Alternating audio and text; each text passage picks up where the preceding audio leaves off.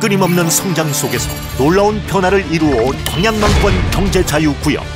국내외 기업들을 유치하여 대한민국 경제 신성장 동력이 될 2차 전지 허브로 변모하고 있습니다. 끊임없는 성장으로 글로벌 비즈니스의 선두를 향해 힘차게 나아가겠습니다.